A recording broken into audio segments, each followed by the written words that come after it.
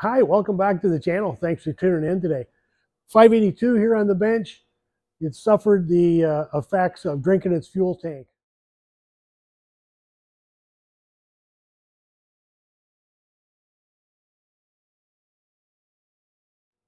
So what is that? Well, the uh, up to 10% ethanol in the automotive gasoline that it's been running on has degraded the resin in the fuel tanks and it has, of course, gone right through the fuel filter. It's gone, it's incorporated with the fuel. It's gone right through the fuel filter, through the carburetors, and been burned in the combustion chamber. We'll remove the cover, exposing the rotary valve plate. And I see this shiny appearance in this area is what I expect to see over the whole plate. I don't really see it there. It's pretty dull. And it's kind of dull over on this side here as well. So let's take it off and flip it over. And we see this is all resin right here. This is the space where it, it fits or corresponds to it. And all of this rest that you know, you look at that and you go, well, it's brown. It's like rust. It's not rust. It's it's resin. So let's examine this piston and see what we can learn. So the uh, the four points here, it looks like the piston wash is normal. So this engine was running well before it started to drink its fuel tank. And then we see how black this is right here. This is what we should see right here where it's like, this is a normal color here. Uh, now, why is this burned here and why is this all here? This is not rust. This is all resin. So when we have when we have a mixture on top of the piston consisting of gas, oil, and resin, and we combust it, the resin makes the piston ring stick so they can't seal properly. So the then the combustion, the combusted mixture of those three items goes past this top ring and makes a deposit right here. And then it makes a deposit in here on the second ring. And of course, the yeah, the second ring is pretty much stuck right here. So it's it's already glued in as as I would say, resined in, glued in you can see the shine in there. Uh, I don't know if it shows, but you can see there's a shine in there. So it's, it's in there pretty good. Uh, and then it can't seal anymore properly. And then the combusted gas just continues down the side. So that's what this all is here. It has a shiny look to it. Uh, and it's, it's resin. And we have some, it's, it's coming across here and there it is right here as well. And on the other side, eh, not as much. So we look at the exhaust side, which would be the hot side by comparison, and it looks pretty normal. Oh, that's that's not that bad there. There's a little bit of discoloration there, but you know this is this is the abnormal um, part where it's you know just completely coated. So let's look at the underside of the piston now and see what we can learn. So this here is the boost port and it goes, it brings fresh, well, we'll just call it fresh, cool, dense gas and oil, and in this case, resin, in under the piston. So it makes it, there's a few reasons. Uh, it makes more power, yes, but it cools the, it's designed to cool the top of the piston and to lubricate and cool the uh, wrist pin and the wrist pin bearings, bear, uh, bearings better. Now, I always visualize how this works, but because of the deposits here, I can actually see it. It's so cool. I can see where it all went. So when we see, so we had nice dense wet fuel oil coming through here and we can see that it's nice and clean here. It's clean on that side. It's clean over on this side. There's a nice clean spot all the way around here. And then, of course, when it came in on this this way, it's clean there and it's come all the way around. So to me, that's really awesome to be able to actually visualize exactly where that intake charge went when it was when it was pushed through the hole here from the crankcase. uh, through the piston, sorry, not the hole, through the boost port uh, when it was uh, after being compressed in the crankcase. Now further out, of course, we have more heat. So what happens is it all coked on here. So this is all resin that's all just burned on here. So that's what we see there. Uh, normally, when I'm in the bottom, I don't know how good the light is here, but there's kind of a little square patch in the center here. There's usually a little bit of coking here from the oil, uh, which is pretty much normal. But this is way too far out over here and, and over here. That shouldn't be there either. So uh, if you if you handed me the, this piston and said, okay, what do you think about this piston? I'm going to say, your engine, you need a new gas tank because your engine is burning your gas tank. So now let's have a look at the other one and see what we see on it as well. Uh, okay, started on the intake side again, and we see pretty much the same thing. Now, there's always, it's interesting because when I go back to the this piston, you see where the gap is and the pin is. There's not a real perfect sealer because there's a gap. So a little bit of combustion gas can go down there, and it certainly has here because this is exactly the same. And we see the same pattern. We see everything is exactly the same. You know, all this brown resin, not rust. Um, the we see the boost port is nice and clean right here, spotless. Because why? It had nice, fresh, wet, dense fuel going by it, and it, it kept it washed off. Uh, what else? Okay, we'll move around. Exhaust side, yeah, there's, you know, lots of indications of it on here. Do these rings move? Uh, the top ring is pretty crunchy. The second ring moves. So, you know, as that's what's happened here is that when we had the the same again, of course, uh, we had fuel, oil, and resin combusting up here, and it's made the top ring start to stick, and that's where we, it's just downhill from there.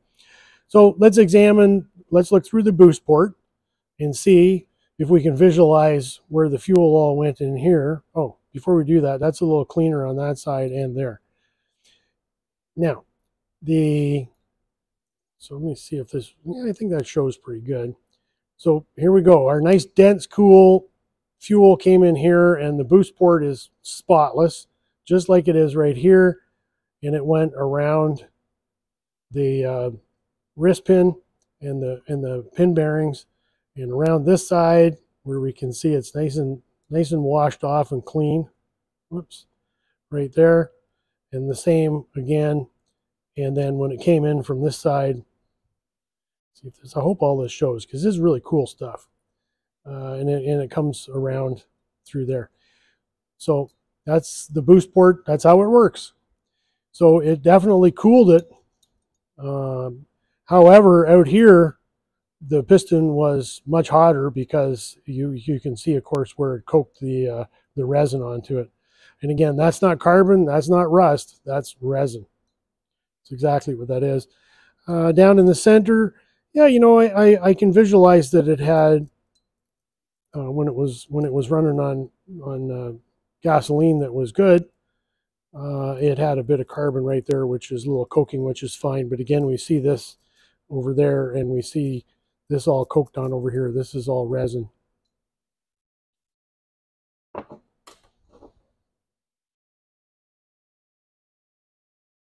This all looks like it's all oily and shiny from that, but it's not. If you rub your finger on there, there's no oil on there. This is all shiny like that from resin. So we can see why the rings are not going to seat because there's, you know, they, they can't even get to the metal anymore. Uh, there's a dark um, little sort of a striation in here and then a rather large deposit where it's much darker here of uh, thicker resin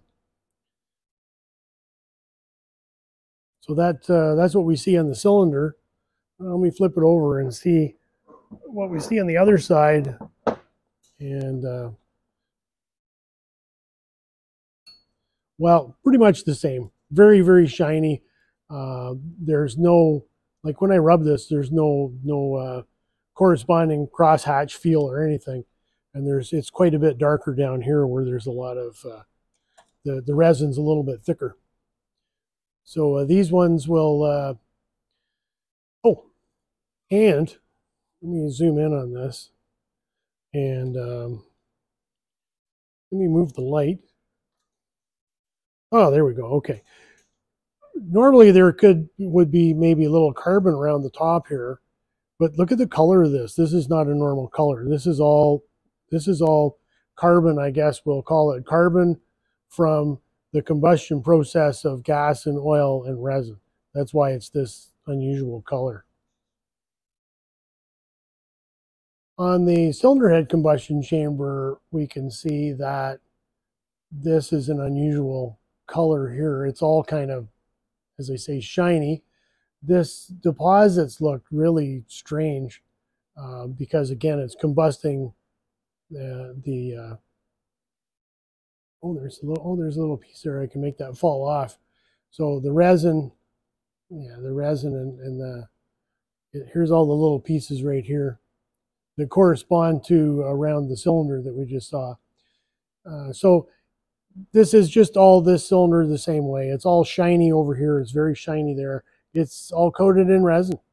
And all of this uh, has is an odd color uh, because it's uh, combusted, as I said, the uh, gas, oil, and resin. And we can really see in the squish area here a real different color here. You see this band right here compared to the combustion chamber. So uh, yeah, a real indication that this is not normal.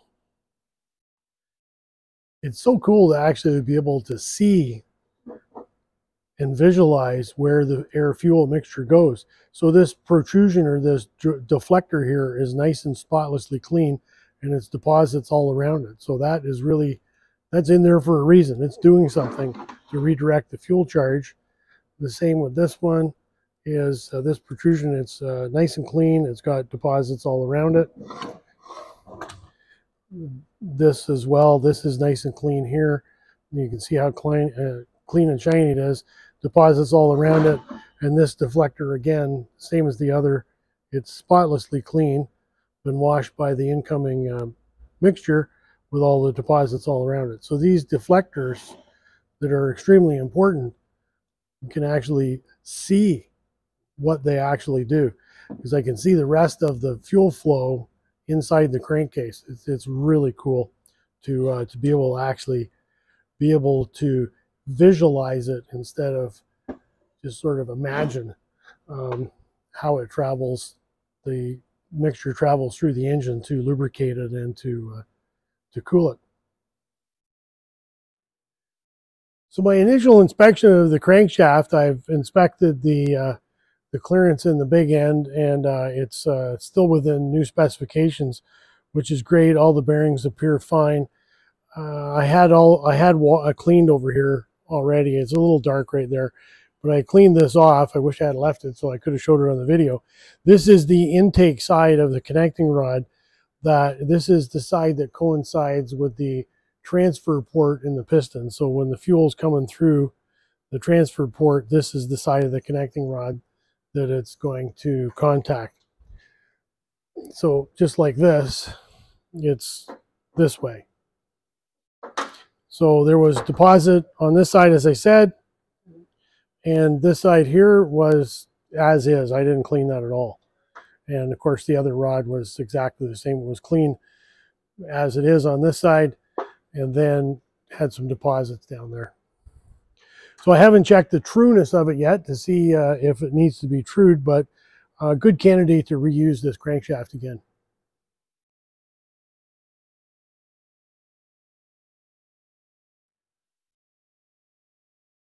So you've seen the deposits that uh, were visible in the actual port in the crankcase. Um, however, when we're getting back to the inspection that you may do on the aircraft, then here we go, right? This is where the rubber carburetor socket goes on.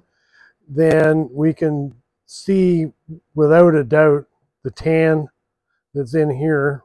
Me, uh, there we go. Oh yeah, that's much better. So we can see uh, this engine is mounted upright. Um, where the plugs up and this is where that the wash from the from the idle so the idle wash has come through here And we can see it's reasonably clean here, cleaner because of the flow there. Uh, and uh, but we can see a lot of deposits as well here. And interestingly, whoops, not a, not that much on the very top, on the very uh, like the uh, spark plug side. And then we'll look at this one again, and we can see, of course, right in here where the idle goes, the idle has washed it off, and then we have deposits in here and deposits in there. So this uh, deposits in here combined with what you'll see in the in the backside of the carburetor, um, for sure, it's drinking the gas tank.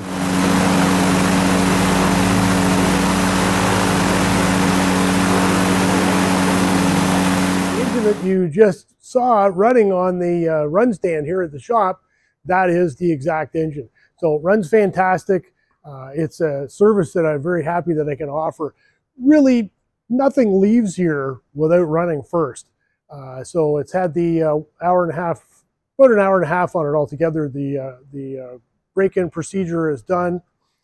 And uh, that engine, well, of course, now there's a little lag here. It's, it's log on, it's back on the airplane, it's flying around. Uh, if you if you're just watching this one for the first time for the internal part of this, there's also a previous video that I did uh, and it's, it's like a DIY version where you can actually inspect your own aircraft. So if you've got fiberglass tanks and you're worried, is it drinking the gas tank? As I always say, uh, you could actually do the inspection. And of course, if it looks like that, uh, when you do the on the aircraft inspection, yeah, the inside of it's going to look like this one did. And it needs to come apart. Um, and uh, in the minimum, uh, clean it and reseal it because uh, the rings will be all stuck, of course. Um, now, clean it. Okay, so you may wonder, what did I clean it with? Acetone. I found that acetone worked the very best um, from all the all the solvents that I tried, and I had like a sweatshirt material, something thick, and I had it sopping wet so that when I clean something, it's completely saturated. So if this is just damp, it's not going to do or won't do anything for me. Maybe it will for you. I don't know. Uh, maybe there's something else out there that's better, but the acetone works for me, so I'm happy. Enough said. Now, um, uh, please uh, like, share, subscribe, all those other things, especially hit the like button. Thanks so much for the time uh, that we spent together today, and uh, have a good one. I'll see you again.